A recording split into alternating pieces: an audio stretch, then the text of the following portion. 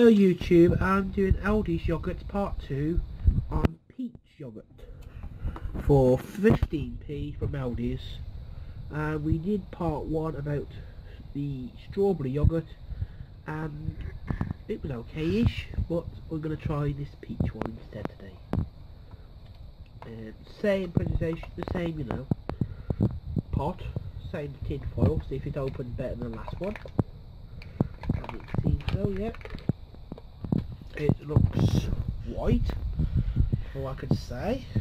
It hasn't, it's thick. Oh, I taste it too. It's thick. It's lumpy. Okay, and it's low fat again.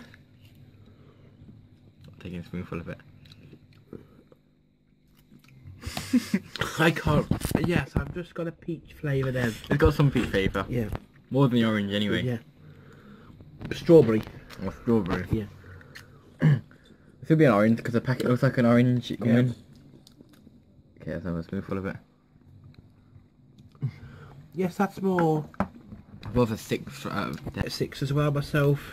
And for children's part, yes, I think definitely probably eight out of ten because it's you know it's different. It tastes okay, and for the price again, 15p. You can't go wrong for lunch boxes if you got that for children these No, not really. Um, there is better ones out there for a bit more money than that, and it if it wasn't low fat, I probably would give it 10 out of 10. This is only six percent peach anyway.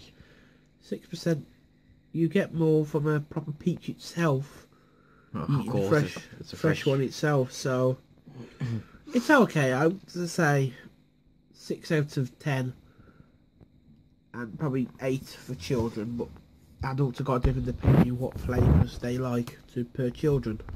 So I'm going to leave it here and do part three of Aldi's yogurts. So speak to you soon. Bye.